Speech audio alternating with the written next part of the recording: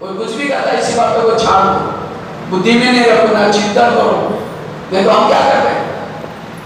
कोई आकर के किसी की गलत बातें सुनाता है तो क्या हुआ? वो उठ के भी जा रहा है करना चाय पानी पी के रहा अगर कोई सेंटर की, कोई बहनों की, कोई मधुबन की उल्टी सुल्टी बातें सुनाता है, सुनना नहीं है। अगर ये बातें सुनेंगे डबल नाइट नहीं रहेंगे, भावनाएँ